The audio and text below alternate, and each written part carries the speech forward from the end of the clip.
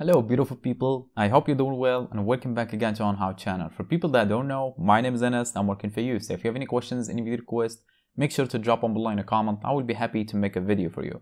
And for people that do know, welcome back.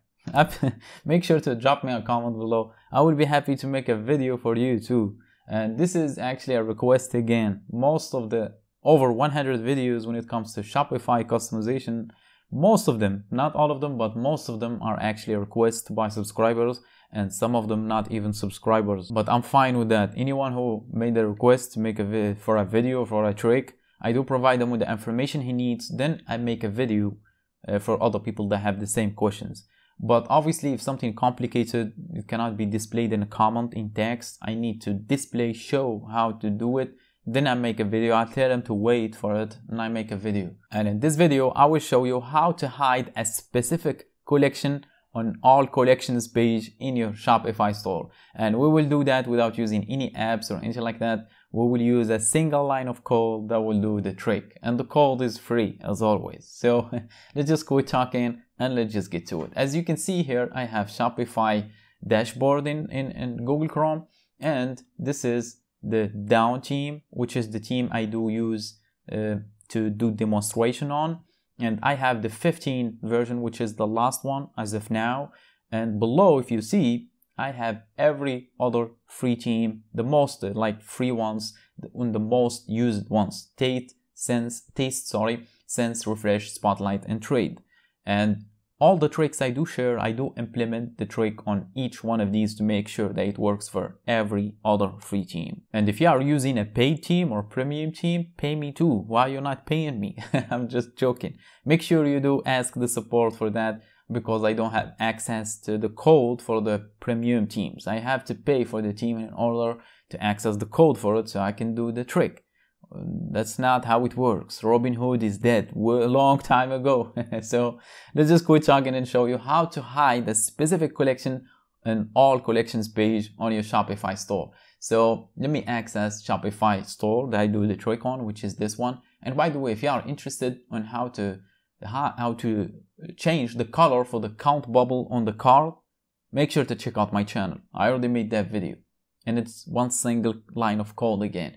So let's just scroll down to, here we go. So this is all collections section in here. So I want to hide one of these. Let's just say the footwear. I want to hide the footwear collection from here. So it will not be displayed on any, not just on this section, on any section that's uh, displayed, displays, sorry, all the collections on your Shopify store. So we will keep this page open. We will do the trick, come back in here and see if it works. So the first thing you're going to do is obviously access Shopify dashboard. Then click on the three dots on left of customize and click on edit code. It will take you to the code editor and then use the search bar at the top left corner and type in base. And it will be either base.css or team.css or style.css all the teams must have this or it will not work properly. So I repeat, I have to say this on each one of my videos because people kept complaining about they cannot find base, they cannot find.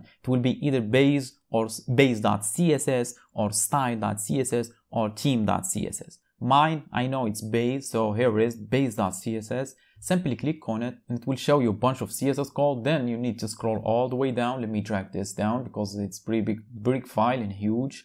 Here we go. So we are at the bottom of the file and make sure you access completely new line, nothing on it. If it doesn't exist, it was like this, simply click front of the closing bracket and hit enter and here we go. We are at the bottom of the file in completely new line. Then the next thing you're going to do is because we need to paste in code in here and sometimes you need to hire a developer and pay him and wait for the time. You don't have to do none of that. Simply scroll down description box and you will see a link, name it as code and simply click on it will take you to this page right here with very short code one line or maybe more two lines and it's completely free. No share please. No pay please. Nothing like that. Just a like button if this video helped you out and wait until you see if it did actually. Even if it didn't don't press this like button. Just drop me a comment. I will be happy to help you out so obviously you need to select the code in here. So let's just select the whole code. Make sure to select the whole thing. Otherwise it will not work. Right click copy then get back in here and simply paste it on the space where you create. after that you see here it looks like a url right? Collections slash collection dash name. If you use your brain a little bit i think you know what to do now right? You don't need to finish my video. I'm just joking. Finish it to the last minute to the last second. So simply you need to replace this with the collection name. So let's just get back. I said i want to change i want to remove this. So let's just click on it to show me the url and simply click uh, select the last one which is footwear. Name for the or the handle sorry for the collection. So let's just uh, replace it here.